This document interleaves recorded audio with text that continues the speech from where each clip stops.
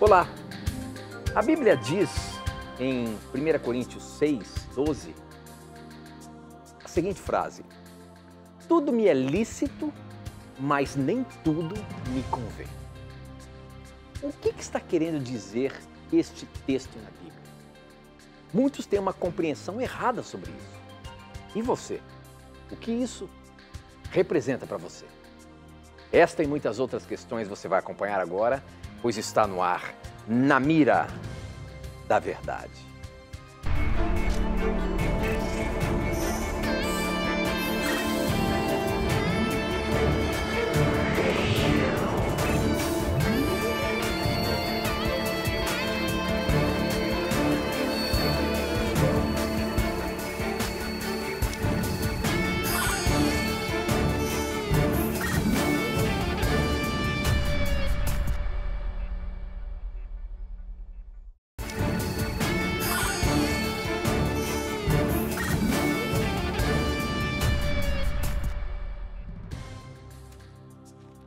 Olá, seja muito bem-vindo. Estamos começando mais um programa na Mira da Verdade. Esse programa que ao vivo podemos responder a sua dúvida bíblica. Aqui, ó, na palavra de Deus.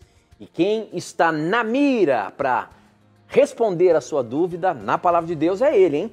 Professor Leandro Quadros. Tudo bem, professor? Tudo bem, Tito. Graças a Deus estamos em mais um Na Mira da Verdade aqui com você, amigo telespectador e esperamos que mais uma vez Deus use-nos com as nossas limitações para ajudarmos você a compreender a palavra dele.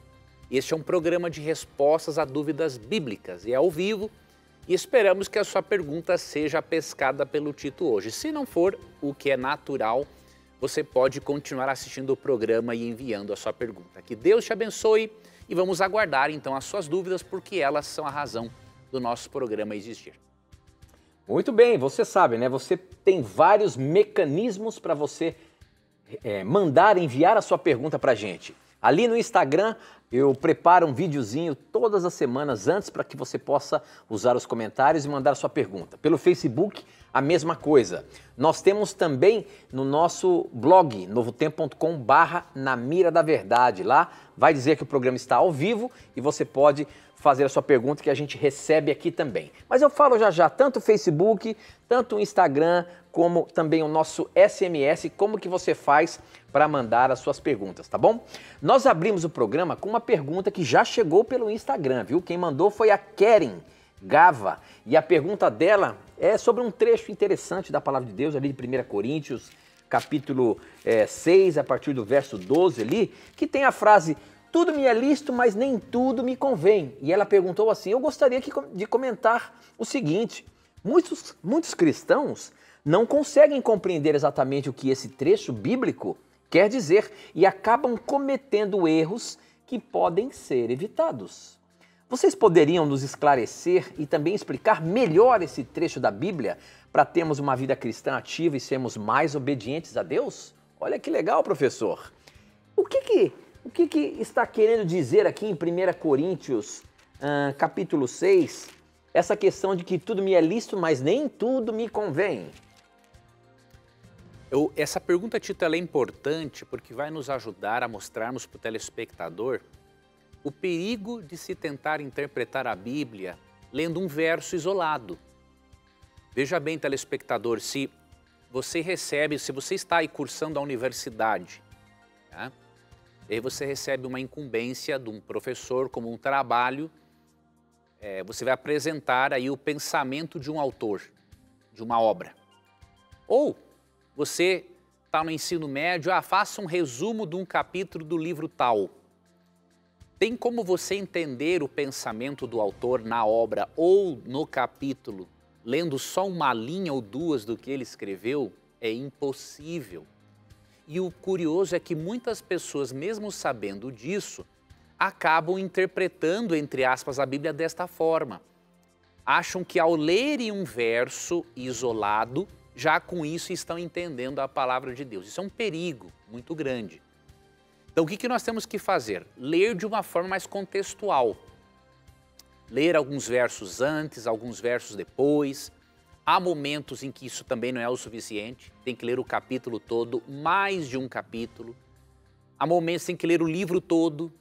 Há trechos bíblicos que você vai ter que pegar é, outros textos bíblicos do mesmo autor ou de outro autor que comenta o mesmo assunto. Então, é, é algo que requer dedicação e uma disposição sincera de descobrir a vontade de Deus no texto bíblico. Então, dando, inicialmente dei só algumas dicas para você é, sobre essa leitura da Bíblia, para agora apresentar para você o que, que esse verso significa no seu contexto. Vamos ler aqui 1 Coríntios 6. Eu vou ler aqui os versos 12 e 13, mas para delimitar, a fim de você entender melhor, é bom ler do verso 12 ao 20, pelo menos. Aqui nós chamamos isso de perícope, é um bloco de texto que trata do assunto. Então, este assunto em específico, entre o assunto maior da carta aos Coríntios, você encontra aqui dos versos 12 ao 20, tá? E aí eu vou ler aqui os versos 12 ao 14 para poder aqui ajudar você a entender esse versículo. Todas as coisas me são lícitas, mas olha aqui uma conjunção adversativa, ó nem todas convêm. Todas as coisas me são lícitas, mas eu não me deixarei dominar por nenhuma delas.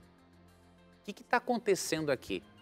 Paulo está refutando ditos populares. Isso é tão verdadeiro que algumas traduções, como por exemplo a tradução, a nova versão transformadora, já coloca entre aspas isso aqui, ó, todas as coisas me são lícitas, aspas, ou seja, era um dito popular usado pelos coríntios. Aí Paulo coloca um mas, mas nem todas convêm. Aí de novo, entre aspas, todas as coisas me são lícitas, mas eu não me deixarei dominar, dominar por nenhuma delas. Por que, que eles estão crendo nesse dito popular?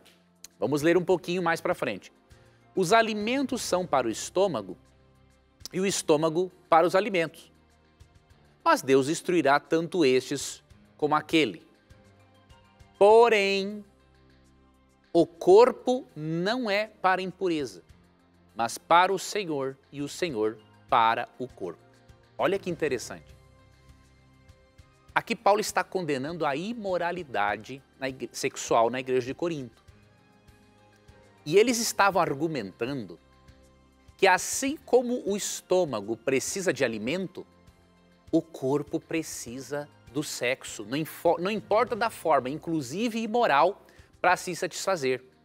E eles alegavam o seguinte: já que Deus vai destruir o corpo e o estômago, então não precisamos ligar muito para aquilo que comemos ou para o tipo de envolvimento sexual que nós temos com as pessoas ao longo da vida. Então eles estavam dando, é, eles estavam assim influenciados por aquela cultura pagã. E aí Paulo está, na verdade, refutando isso. Todas as coisas me são lícitas, mas ele está dizendo o seguinte, ó, mas nem todas convêm. Mesmo que algo seja lícito do ponto de vista da sociedade ou até do governo, isso não significa que convém a um cristão. Todas as coisas me são lícitas, mas eu não me deixarei dominar por nenhuma delas. Então, até mesmo aquilo que é lícito, se domina a nossa vida, estamos perdendo o nosso o nosso pe, o pequeno restinho de livre-arbítrio que temos, estamos perdendo, porque Deus não é a favor de que nada nos domine. Então, Paulo aqui está mencionando ditos populares pagãos e refutando esses ditos com a seguinte ideia: o corpo não é para impureza, diz no final do verso 13, mas para o Senhor e o Senhor para o corpo. Então, o que, que ele está dizendo para eles? Vocês têm que deixar de lado esta crença de que tudo é lícito, de que você pode comer à vontade, a quantidade que quiser, de que você pode ter uma vida sexual desenfreada, fora do seu matrimônio ou daquilo que Deus criou para, como plano para a humanidade. Você pare de pensar nisso, porque o seu corpo não foi feito para impureza, o seu corpo pertence ao Senhor, tanto pela criação quanto pela redenção. Tanto que no verso 19 e 20, Paulo fala que o corpo é o templo, o santuário do Espírito Santo. Então, quando alguém lê só o verso 12 e desconsidera o contexto, ele não consegue perceber que Paulo está mencionando ditos populares usados como uma justificativa para imoralidade sexual. Eles estavam confundindo a liberdade em Cristo com a libertinagem pagã. E Paulo está refutando esta barbaridade. Então, um cristão responsável, ele precisa interpretar 1 Coríntios 6,12 dentro do seu contexto mais amplo. Muito bom, muito bom. Para você participar, você pode mandar as suas perguntas através do nosso SMS e eu chego e eu recebo aqui, ó, no meu smartphone. Use aí as mensagens do seu smartphone, o número é 12 981510101. Eu recebo aqui na hora. Você também tem como mandar suas perguntas pelo nosso Instagram, arroba na mira da verdade, e no nosso Facebook, na mira da verdade.nt, ali no Facebook. Todos têm ali um videozinho antes onde você pode colocar a sua pergunta, tá bom? E no Facebook nós estamos transmitindo também pelo, face, pelo, pelo Facebook. Então você pode usar ali os comentários do Facebook também. Estamos também no YouTube, você que está nos assistindo pelo YouTube, assistindo a TV Novo Tempo, o canal da TV Novo Tempo ao vivo aí pelo YouTube. É muito bom ter você aqui, ter você aqui com a gente também, tá bom? Pode mandar as suas perguntas por esses me mecanismos que eu falei para você enviar o seu questionamento, tá bom? Professor Leandro Quadros, olha, chegou uma interessante aqui agora no SMS. Quem mandou Uh, foi o Márcio. Ele diz o seguinte: boa noite, professor Tito. Meu nome é Márcio, sou católico, moro em Bandeirantes. E, professor, faz quase 17 anos que meu pai faleceu. Só fui no dia do enterro. Será que eu estou pecando por nunca mais ter voltado no túmulo de meu pai? A Bíblia fala algo sobre visitar falecidos? E aí, professor? Tem alguma implicação se porventura eu não vou é, no cemitério visitar um ente querido que morreu lá? Isso há alguma condenação? E aí ele, ele foi mais além, né? Se a Bíblia fala alguma coisa sobre visitar falecidos ou os mortos. Olha que interessante, a Bíblia demonstra que os filhos de Deus no antigo Israel tinham sim um respeito para aqueles que morreram. Então, vou dar aqui um exemplo. Em 1 Samuel 31, aqui dos versos 8 a 13, quando houve o sepultamento né, do rei Saul e dos seus filhos, diz aqui que por ocasião do sepultamento eles jejuaram sete dias. Então havia um respeito muito profundo pelos falecidos.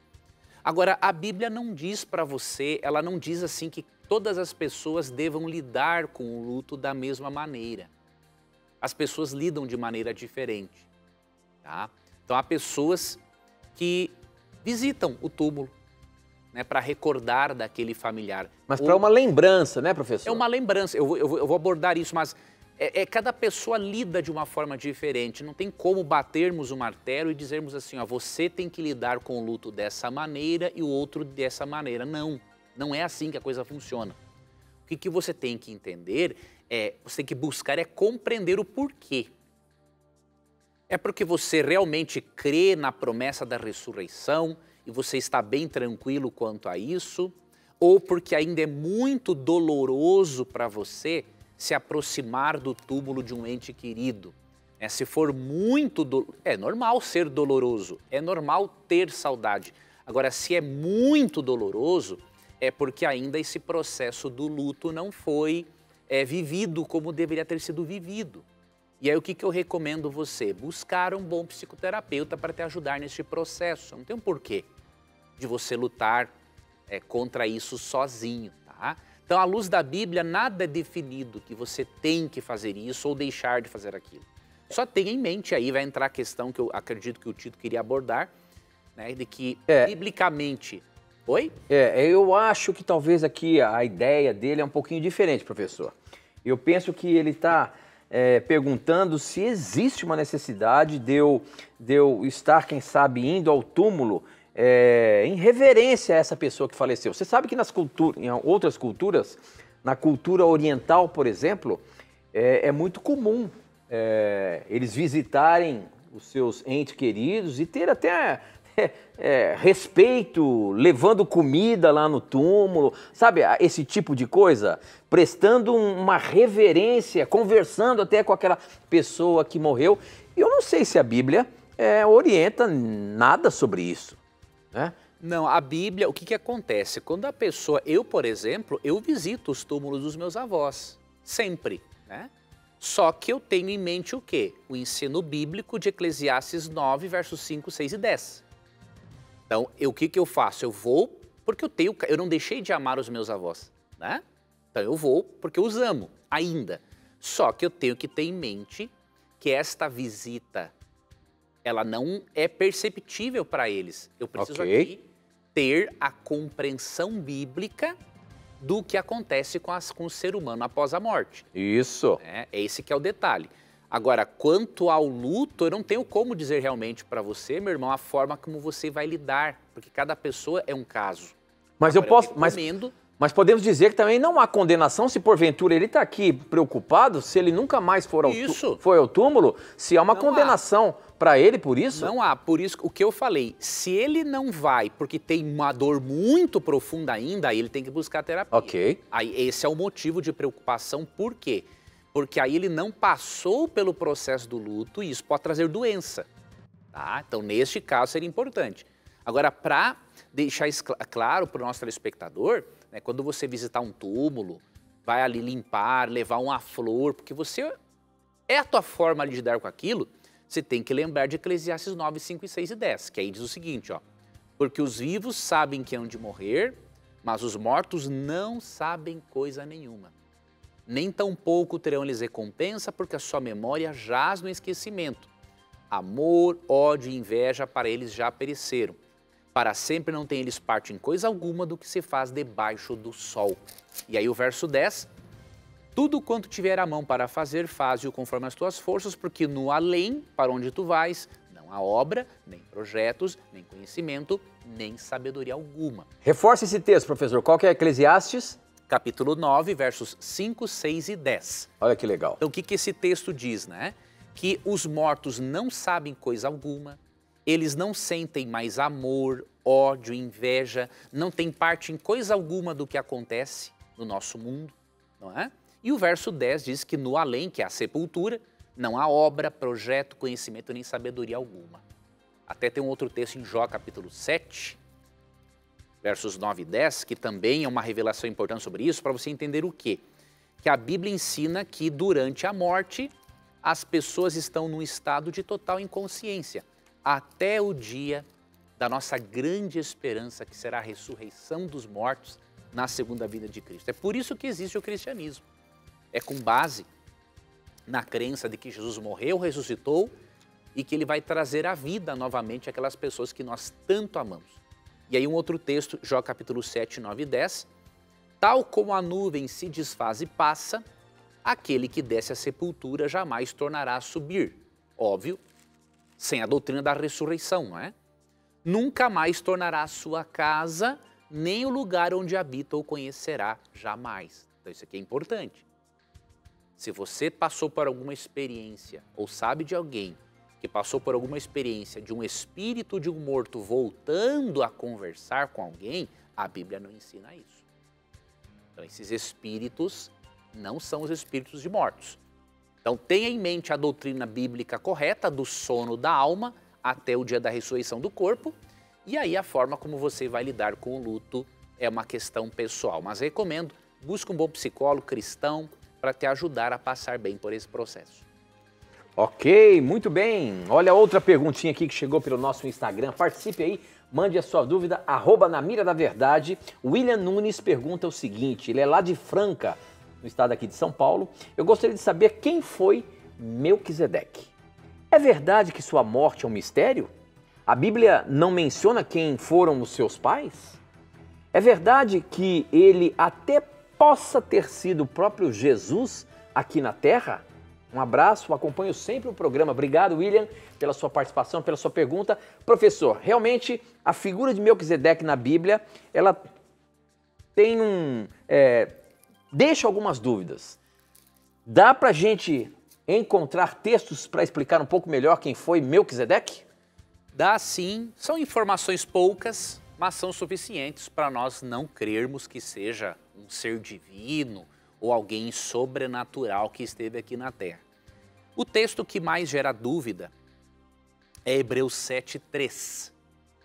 Falando de Melquisedeque, diz assim que ele era. Vamos fazer o seguinte, professor? Pois não? A gente, a gente vai rapidamente para um Tá intervalinho, para o nosso tempo aqui, e depois a gente volta com essa dúvida Perfeito. para os nossos telespectadores, tá bom? A gente tem que ir para um breve intervalo, mas não sai daí não, a gente volta já.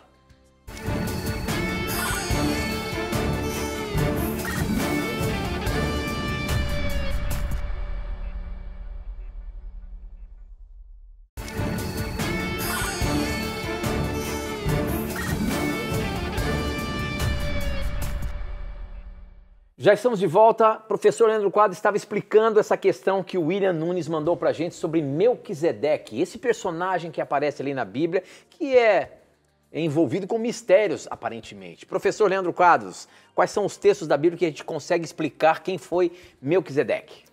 Vamos então, Tito, para o primeiro texto, que é Hebreus 7, verso 3, que é o que gera mais dificuldades. Né? Falando de Melquisedeque aqui como um tipo de Cristo, ou seja, ele apontava para o sumo sacerdócio especial de Cristo, eu vou explicar isso aqui logo mais. Hebreus 7,3 fala assim: que ele era sem pai, sem mãe, sem genealogia, que não teve princípio de dias, nem fim de existência, entretanto, feito e semelhante ao Filho de Deus, permanece sacerdote perpetuamente. Então as pessoas leem esse texto e pensam o seguinte: bom, já que ele não tinha pai, nem mãe, não teve princípio, nem fim de existência, então era Deus. De alguma forma, era Cristo pré-encarnado. Nada a ver isso. Temos que ir para Gênesis 14, 18 para entendermos por que, que ele é mencionado desta forma aqui em Gênesis 7,3, tá? Então vamos para Gênesis 14, 18, que, tão, que te, contém as poucas informações que temos e que são necessárias para compreendermos esse aspecto. Melquisedeque, rei de Salém, trouxe pão e vinho. Era sacerdote do Deus Altíssimo. Abençoou ele Abraão e disse: Bendito seja Abraão pelo Deus Altíssimo que possui os céus e a terra. Olha que curioso. Aqui diz claramente que ele era rei de Salém. Salém veio a se tornar depois Jerusalém e que ele era sacerdote. Ele tinha um sacerdócio real. Ele tinha uma dupla função aqui. E ele era alguém real que manteve contato com Abraão. Agora, por que, que é dito que ele não tinha início de dias, nem fim, sem pai, sem mãe? Porque todo sacerdote na Bíblia, ele tinha uma genealogia. Ele tinha a sua autoridade, ele era legitimado pela sua origem. E todo sacerdote vinha de qual família? De Arão. Só que Melquisedeque existiu muito antes muito antes de Arão existir ou ser declarado sacerdote, Melquisedeque havia sido separado por Deus para ser sacerdote. Mas como ele não era da linhagem de Israel, ele não era da linhagem é, de Arão, não tem-se o registro da genealogia dele. Então é por isso que ele fala que não tinha princípio nem fim, não tinha pai, mãe, nem início, nem fim de dias. Não está dizendo que era um ser divino eterno. Como ele era de uma linhagem diferente, ele existia, ele era contemporâneo de Abraão, então é óbvio, não podia existir nenhum israelita e nem Arão para ele herdar esse sacerdócio. Então é por isso que é dito que ele, ali no verso 13, é sem pai, sem mãe, sem genealogia. Por quê? Porque eles conheciam a genealogia daqueles que eram, de, dos, eram israelitas. E o sacerdote, a sua linhagem era possível de saber se ele pertencesse à família de Arão. E não era o caso de Melquisedeque. Ele era especial. O sacerdócio dele é antes do sacerdócio de Arão. Então ele é apresentado como um tipo de Cristo, para mostrar aqui no argumento da carta aos Hebreus que o, que o sumo sacerdócio de Cristo é superior ao sacerdócio levítico e de Arão, Por quê? Porque ele é comparado ao sacerdócio original de Melquisedeque, que existia muito antes de Israel, muito antes de Arão. Tá? Então, leia essas poucas informações nos mostram que era rei de Salém e sacerdote ao mesmo tempo. E como Jesus é o nosso, é o rei dos reis e senhor dos senhores, e o nosso sumo sacerdote, então Melquisedeque se tornou um tipo do Cristo que viria no futuro. Mas não está dizendo o texto que ele era o Cristo pré-encarnado. Muito bom. Chegou uma dúvida para a gente aqui relacionada a Levíticos. Você sabe que Levíticos é um monte de orientação que Deus colocou aqui para a gente, para o povo de Deus, né, lá no passado. Mas tem um, um texto aqui no finalzinho de Levítico que está trazendo dúvidas para algumas pessoas. Tem alguns jovens que estão estudando a Bíblia, se depararam com esse texto e chegou aqui para mim aqui agora é, essa dúvida. Olha só, professor, eu vou ler aqui, é sobre é, algo que você dedica a Deus. E, e o texto aqui de Levíticos 27, no 29, é um pouco mais delicado. Então, ali no 28 diz o seguinte: Ninguém poderá vender ou tomar ou comprar uma coisa, seja pessoa, animal ou terreno, que tiver sido dedicado ou dedicada para ser usado somente no serviço de Deus. O Senhor é uma coisa sagrada e pertence completamente ao Senhor. Não, é, é ou melhor, Deus, o Senhor. É uma coisa sagrada e pertence completamente ao Senhor nem mesmo uma pessoa que tenha sido dedicada assim poderá ser comprada de novo. Ela será morta. Esse texto dá alguma ideia de, de, de sacrifício humano, professor? Não, Deus não aprova de forma alguma isso. O, o que, que, que está querendo, querendo mostrar? que uma pessoa que foi dedicada a Deus é, é, deveria ser um escravo aqui da época, né? não poderia ser comprada, porque senão ela deveria ser morta. O que, que é isso aqui? Aqui, na verdade, era o primogênito. Né? Todo primogênito, tanto do ser humano quanto da cria dos animais, ele era resgatado, ele pertencia a Deus. Porque todo primogênito apontava para Cristo como primogênito, o primeiro em importância que morreria pelos nossos pecados. Então o que, que aconteceu? O primogênito era resgatado. De que forma? Era pago uma oferta lá no tabernáculo. Uma oferta era paga por todo o primogênito humano. E quando era um animalzinho, ele era dedicado a Deus em sacrifício. Então, para Deus mostrar a sacralidade da vida daquela pessoa, Deus não permitia que o primogênito deixasse de ser dele, ou que fosse vendido, ou fosse qualquer coisa. Ele tinha que pertencer a Deus. Deus não mandava matá-lo, porque na verdade tinha uma oferta para resgatar esse primogênito. Mas Deus mostra o quanto isso é importante. Olha, não faça isso, que se isso fosse acontecer, você teria que matar essa pessoa, porque ela pertence a mim. Então era uma forma de conscientizar eles da sacralidade deste voto, tá? Agora, que Deus nunca aprovou e nunca ensinou é, sacrifício humano, aí você tem que ler aqui um outro texto, entre outros, né, obviamente. Deuteronômio 12, 31, por exemplo. Então, naquele texto, quer mostrar a irrevogabilidade de um primogênito pertencer a ele, porque apontava para Cristo como primogênito, o primeiro em importância, por meio do qual seríamos salvos e ressuscitados. Por isso que ele é chamado de primogênito é, da criação, primogênito dos mortos, tanto lá em, em Colossenses 1,15, né, que nós lemos ali. Agora, aqui, Deuteronômio 12, 31, é dito o seguinte: não farás assim ao Senhor teu Deus, porque tudo que é abominável ao Senhor e que ele odeia, fizeram eles a seus deuses, pois até seus filhos e suas filhas queimaram a seus deuses. Então Deus está falando para o israelita que ele jamais deveria praticar o sacrifício humano como os pagãos faziam, porque isso é abominável para Deus. Então não podemos confundir essa dedicação sagrada do primogênito com os sacrifícios humanos que Deus abominava. São duas coisas diferentes. Ok, muito bem. Quero mandar uns abraços aqui, ó. Tem pessoal que sempre acompanha o programa Na Mira da Verdade. O seu Erivan e a Dona Maria do Socorro, lá de Natal, estão sempre ligadinhos aqui na Novo Tempo, no Na Mira da Verdade. Um abraço para vocês. E o Bernardo e o Gilson, eles estiveram aqui participando do Bíblia Fácil e estavam visitando a Novo Tempo aqui. Eu os encontrei e eles demonstraram um carinho muito grande pelo programa Na Mira da Verdade acompanham sempre. Quero mandar um abraço para vocês também, tá bom? Que Deus os abençoe ricamente no seu é, crescimento com o estudo da palavra de Deus. Professor, olha, o programa de hoje está cheio de perguntinhas aqui capciosas. Tem uma pergunta que chegou, eu nunca tinha pensado nisso daqui. Logicamente que o texto aqui é, está baseado em Ezequiel 28. O texto aqui está falando de Tiro, mas que há uma referência a Satanás. Agora, vamos ver se a pergunta do nosso amigo aqui, lá de Fortaleza, o Francieldes, é, tem a ver com Satanás, porque ele pergunta o seguinte: ó, vamos pegar o professor hoje.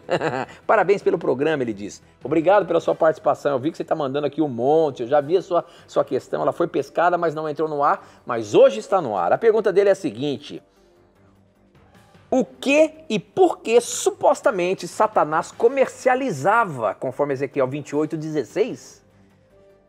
Porventura, isso aqui está sendo dirigido a Satanás ou especificamente a Tiro, que está escrito aqui em Ezequiel 28, porque há sim uma referência a, a, ao anjo caído, certo, professor?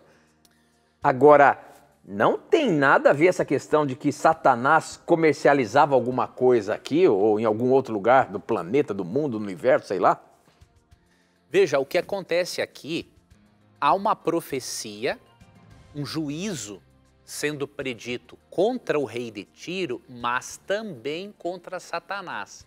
Então, o, o alvo de Deus aqui são dois personagens diferentes. São Satanás, Tiro é comparado a Satanás por alguns aspectos, especialmente por causa do orgulho, da arrogância, da maldade. Mas você vê que uma profecia que é contra o rei de Tiro, mas também que é contra Satanás. Então, esses dois personagens se mesclam aqui. Então a dúvida é muito oportuna, porque no verso 16 fala assim: ó, na multiplicação do teu comércio, se encheu o teu interior de violência e pecaste. Realmente, no sentido literal, né, Satanás não tem nada o que ele comercializar. Só que aqui então você vê que é uma referência a tiro. Só que você vai aqui, por exemplo, para o verso 14 e 15, já não tem como ser simplesmente tiro. Olha o que diz aqui, ó. Tu eras querubim da guarda ungido e te estabeleci. Permanecias no monte santo de Deus, no brilho das pedras andavas. Como que Tiro vai ser um querubim? Querubim é uma categoria de anjo. Você pode ler, por exemplo, Ezequiel capítulo 1. Então você vê aqui, ao verso 15, ó, perfeito eras os teus caminhos, desde o dia que achou, que, em que foste criado, até que se achou iniquidade em ti. Isso aqui também não pode se referir a um simples ser humano, porque nenhum ser humano pós-Adão é perfeito. Então aqui se refere a Lúcifer na sua condição antes da queda. Tá?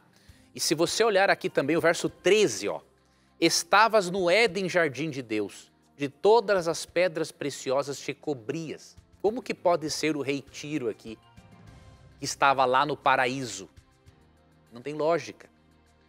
Então você vê aqui uma descrição, uma profecia de juízo contra o rei de Tiro, como ele era orgulhoso, veio a se tornar maldoso, então ele é comparado aqui a Lúcifer.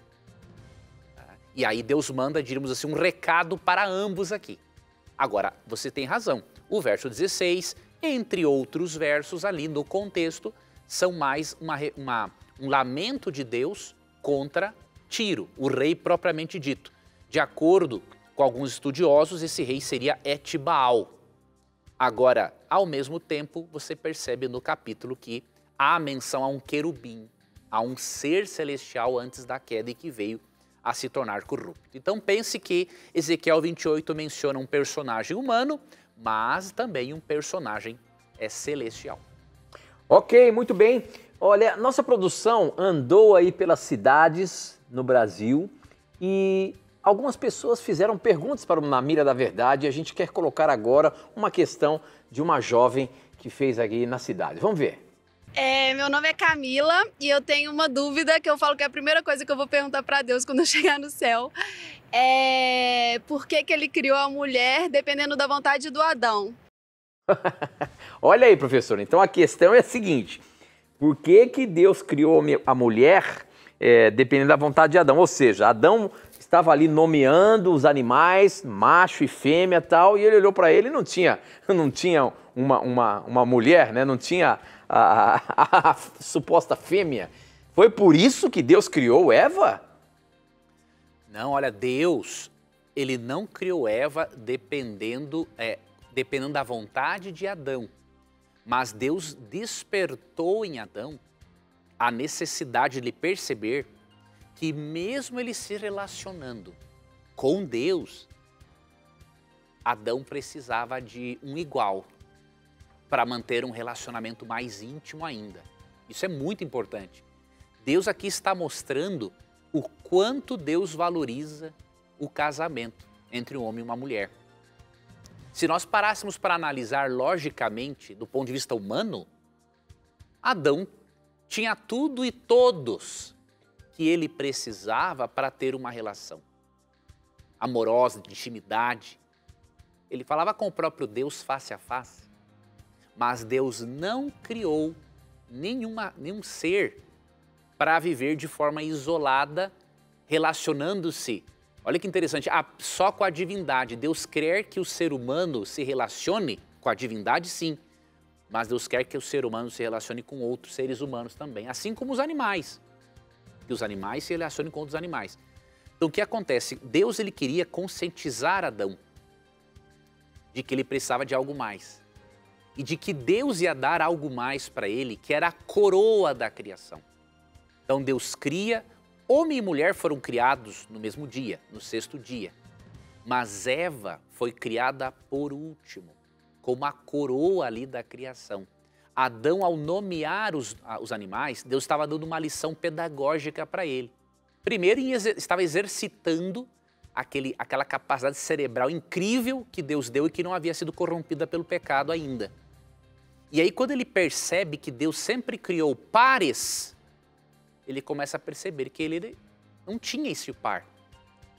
E aí Deus vai despertando nele a, a, a mostrando para ele a importância de ele se relacionar com alguém de uma forma mais íntima.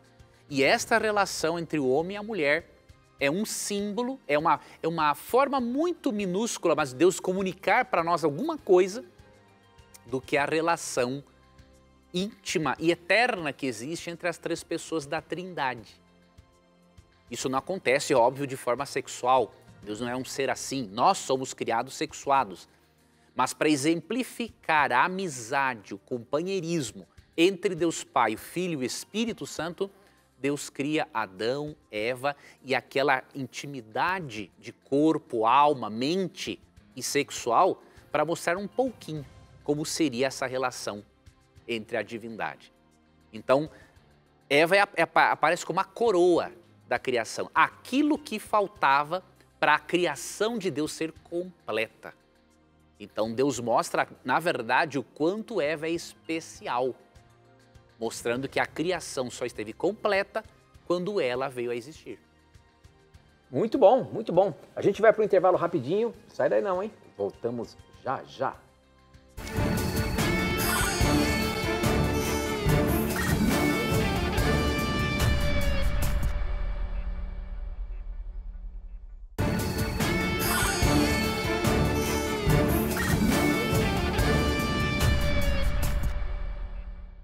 Já estamos de volta e eu quero começar esse bloco apresentando para você a revista Esperança Mente Feliz. Essa revista que nós estamos apresentando esse mês aqui é fantástica. Eu queria que você visse mais de pertinho. Olha aqui, ó, vou falar com o meu amigo Bedak. Eu quero mostrar os estudos que nós temos aqui, ó. São oito estudos. Saída para ansiedade, por que estou tão triste, perdoados e cura, ideias para a resolução de problemas conjugais e familiares, vencendo compulsões, psicoma, como que é isso aqui? Psicossomática, corpo e mente juntos, pensando bem, controle emocional, o que é isso? Olha cada tema interessante e olha como está ilustrada esse guia de estudos com respostas, perguntas e respostas para você colocar ali no final. É fantástico esse guia de estudos Mente Feliz que você pode ter aí na sua casa sem pagar nada. Basta você ligar para a gente agora. Nós temos uma, uma equipe muito grande de pessoas que está ali pronta para receber a sua ligação e você pode ligar para 0 operadora 12 21 27 3121. Peça agora mesmo, é grátis. Revista Esperança, Mente Feliz. Você que quer saber mais sobre esse assunto, sobre a, a questão emocional, você pode pedir essa revista agora mesmo, tá bom? Então ligue pra gente, hein? 0 operadora 12 21 27 3121. Nós temos uma equipe ali esperando a sua ligação para que você possa receber gratuitamente aí na sua casa. Não perca tempo não, hein? Graças ao projeto Anjos da Esperança, você pode ter gratuitamente esse guia de estudo aí na sua casa, tá bom? Muito bem, professor Leandro Quadros, olha só a questão que está chegando aqui. Quem mandou para a gente foi o Lucas. Ele é de Betim, ali em Minas Gerais. E a pergunta do Lucas é a seguinte: ah, Sou testemunho de Jeová e recentemente tivemos um estudo a respeito dos habitantes de Sodoma e Gomorra. Há alguma esperança de ressurreição para algumas daquelas pessoas? Pelo que a Bíblia diz, tem um texto que dá a entender que pelo menos algumas delas podem ser ressuscitadas. É o texto, por exemplo, de Mateus 11, 24, que diz: No dia do julgamento será mais suportável para a terra de Sodoma do que para você. Pelo que dá a entender, Jesus deu, deu a entender que alguns seriam ressuscitados na ressurreição dos justos ou dos injustos. Pois ele diz no dia do julgamento e devemos lembrar que João 5,29 fala sobre a ressurreição de julgamento. Como entender isso, professor? Olha só a questão. Obrigado, viu, Lucas, por você acompanhar o nosso programa, mandar as suas dúvidas para a gente, que para juntos estudarmos a palavra de Deus e compreendermos esse assunto. Você que é testemunho de Jeová, muito, muito obrigado pela sua participação aqui, tá bom? Professor, é, essa questão que Mateus fala ali, pode ser que alguns ressuscitem é, para a morte eterna? Ou, ou, ou, algum vai ter chance de salvação ali de Sodoma e Gomorra? A Bíblia dá a entender isso? Não, ó, mas antes, ó, muito obrigado ao nosso amigo, Testemunho de Jeová, por sua pergunta, Lucas. Muito boa pergunta. Realmente, Lucas, ó, ali em João 5, 28 e 29, Jesus menciona duas ressurreições gerais. Né? Isso. Né? A ressurreição dos justos e dos ímpios. E quando vamos para Apocalipse capítulo 20, versos 4 a 6, nós percebemos que há um intervalo de mil anos entre essas duas ressurreições. A ressurreição dos justos ocorre por ocasião da segunda vinda de Cristo e a dos ímpios após o milênio, quando eles serão o quê? Castigados no lago de fogo e depois destruídos. Porém, Mateus 11, 24 não menciona a possibilidade de alguns habitantes de Sodoma fazerem parte da ressurreição dos justos. E você pergunta por quê? Porque no contexto, a questão é que alguns, que os habitantes de Sodoma e Gomorra terão menos rigor no juízo, mas serão julgados do mesmo jeito. Deus antecipou um juízo para eles, ok? Mas o juízo final para eles terá menos rigor, mas eles passarão pelo juízo final. Então nós não temos indicação de que alguns deles façam parte da ressurreição dos justos, porque Deus já mandou aquele juízo com fogo e enxofre por, sobre todos, justamente porque ninguém se arrependeu. E lembra que no diálogo de Abraão com Deus, quando Deus revela para ele o que ia acontecer, ali em Gênesis 18, Deus diz que pouparia a cidade toda se houvesse um justo sequer. Então, como ele não poupou, não havia nenhum. Com exceção, óbvio, quando ele retirou Ló e seus familiares dali. Então, olha a ênfase de Mateus 11, 24. Digo-vos, porém, que menos rigor haverá, ou seja, vai haver rigor, mas haverá menos. Haverá no dia do juízo para com a terra de Sodoma do que para contigo. Aqui Cristo está falando das cidades de é, Cafarnaum, Corazim, não é? Então veja, não nasce a possibilidade. Deus jamais teria destruído uma pessoa justa lá em Sodoma e Gomorra. Tanto que ele, ele mandou dois anjos tirarem Ló de lá com a sua família. Então os que foram destruídos é porque foram realmente condenados, não se arrependeram dos seus pecados, foram condenados. E Mateus 11, 24 não diz que eles não terão rigor, mas terão menos rigor. Então, isso aqui mostra realmente a gradação de castigos, mas não podemos cogitar realmente a possibilidade de que alguém daquelas cidades faça parte da ressurreição dos justos. Muito bem, muito bem, professor. Olha só, essa pergunta chegou, veio de longe, hein? Veio lá de, de Tampa, na Flórida, Estados Unidos. Obrigado Alcides Rezende, ele diz o seguinte, olá Tito, boa noite, sou Alcides aqui, Júnior, do pequeno grupo adventista aqui de Tampa, na Flórida. Penso que com esta eu pego o professor. Ah, vamos ver se ele, a pergunta é boa mesmo. Leandro, me diga por que, que as mulheres sangrando ou menstruadas eram consideradas impuras até a época de Jesus? Ou seja, desde lá de Levítico até Jesus estar ali, as mulheres com sangramento ou menstruadas eram consideradas impuras ainda, professor? Veja, em Levítico capítulo 15, tanto o homem quanto a mulher que tivessem fluxo, seja, no caso a mulher fluxo sanguíneo e o homem fluxo seminal, ambos eram considerados impuros. Por quê? Então, primeiramente, vamos esclarecer, não era só mulher, o homem também. Levítico capítulo 15. Por quê?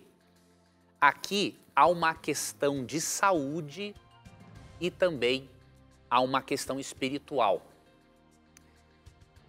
Veja, aquele povo vivia no deserto. Eles não tinham sempre acesso à água potável como nós temos. Outro detalhe: aquele povo havia saído da escravidão egípcia. Eles estavam, de certa forma, desumanizados. Como que Deus iria ensinar aquele povo a cuidar da saúde, evitar contaminações e como Deus ia ensinar muitos daqueles homens brutos a respeitarem a mulher no seu período menstrual, dando leis bem restritas acerca de saúde. Moisés foi considerado um grande sanitarista, porque o que ele ensinou foi espetacular, especialmente para aquela época. Então veja, a mulher com fluxo sanguíneo, ou homem, né, a, poss a possibilidade de transmitir-se doenças por meio de fluxos do corpo é muito grande. Então Deus utilizava-se dessa linguagem. Não que a pessoa era uma pecadora por isso. Isso é, faz parte do processo normal do organismo, faz parte do nosso corpo. Só que Deus tinha que ensinar para eles que Ele é um Deus santo, que Ele se preocupa tanto com a saúde quanto com a pureza moral do seu povo. E Deus utilizou essa lei sanitária, essa lei de saúde, para ensinar também algo espiritual, que é a importância da pureza, da pureza espiritual. Então, assim como Deus é santo, ele queria que o seu povo fosse se tornando santo. Então, Deus se utilizou destas leis para proteger a saúde, proteger a mulher que não tinha o seu período menstrual respeitado. Imagine, aqueles homens saíram de uma escravidão egípcia, eram de certa forma desumanizados. Então Deus tinha que ajudar as pessoas a se reeducarem, mas ele também utiliza-se daquilo como um recurso pedagógico para ensinar a importância da pureza moral do seu povo.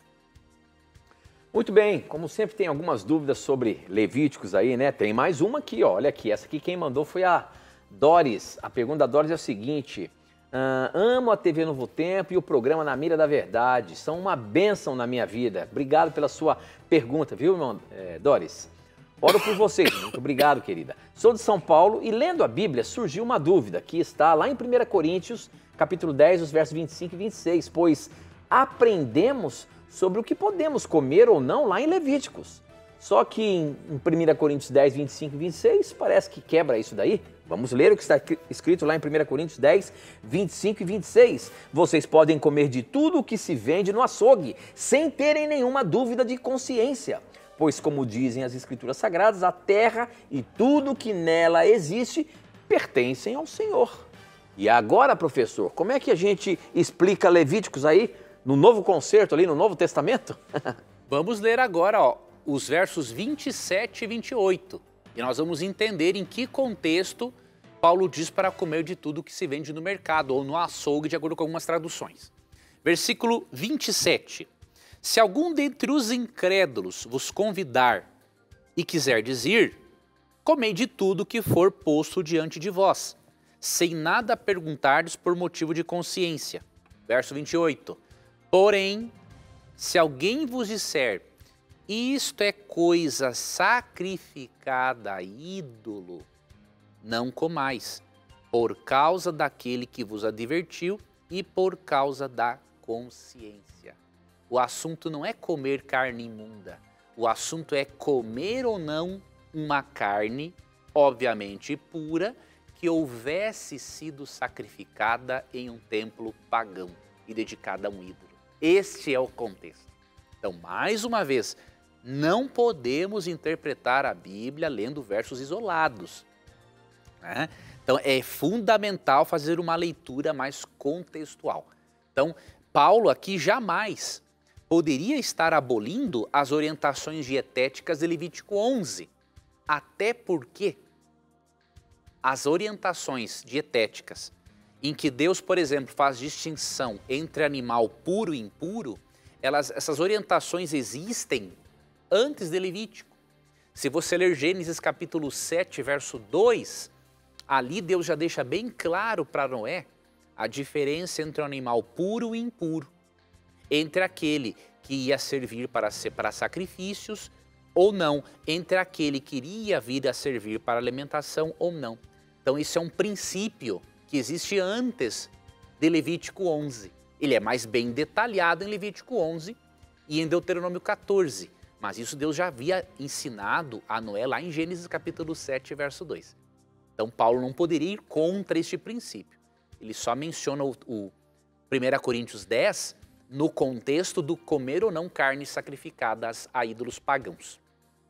Muito bem, está quase acabando o nosso programa, mas dá tempo de colocar mais uma pergunta aqui. Essa chegou pelo nosso SMS. Quem mandou foi o José Roberto. Ele é lá de Caratinga, Minas Gerais. E eles congregam na comunidade Águas Vivas. A pergunta dele é a seguinte: podemos dizer que os Dez Mandamentos não são inspirados pelo fato de que o próprio Deus os escreveu em tábuas de pedra? Ou seja, é, confirmar de que realmente estão em vigor os Dez Mandamentos pelo fato de que foi Deus que ali com o seu próprio dedo escreveu nas tábuas de pedra. pedra. Então, isso quer dizer que eles não inspiraram, como muitos acreditam. É que veja, não é errado usar essa designação, não é? Porque Deus realmente escreveu com o seu próprio dedo, mas é que o conceito de inspiração ele é mais amplo, né?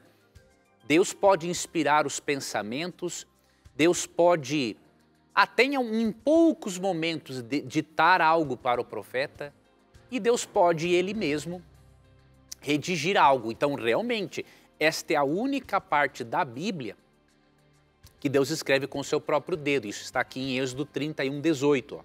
E tendo acabado de falar com ele no Monte Sinai, deu a Moisés as duas tábuas do testemunho, tábuas de pedra escritas pelo dedo de Deus. Poderíamos dizer o seguinte: Deus deu-nos isso aqui pessoalmente, um, ele inspirou, entre aspas, de uma forma diferente o restante da Bíblia, ele tem, ele tem várias formas de trazer a Bíblia até nós.